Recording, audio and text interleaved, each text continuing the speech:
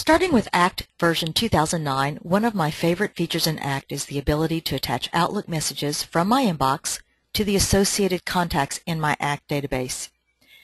ACT can do this by using the email address that's found in the incoming email and the email I entered for the contact in ACT to determine which record to use for attaching any messages. Then once messages are attached to the History tab in ACT, I can delete that message from my inbox yet everything is still in ACT where I need it to be.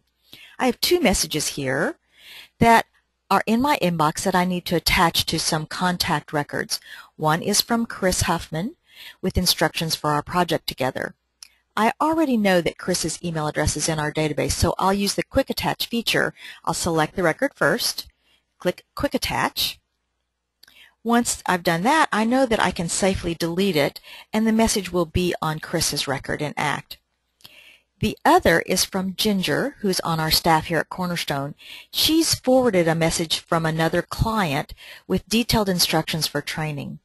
If I use the Quick Attach feature, it will attach to Ginger's record since she's the one who sent the message, and that's not what I really want.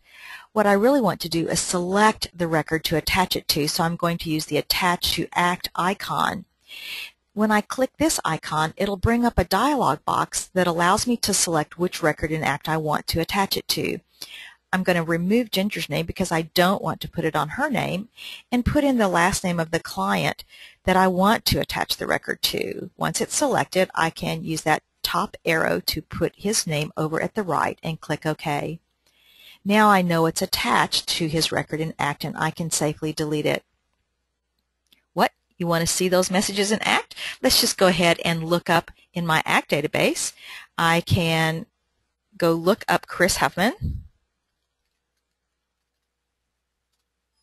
There's Chris's record. Let's look on the History tab. And sure enough, right here is the message that I attached today. Here's the subjects that he once added to the database. The other one was Bill Wonderful. And once again, here's the message that I just attached, for here is the plan.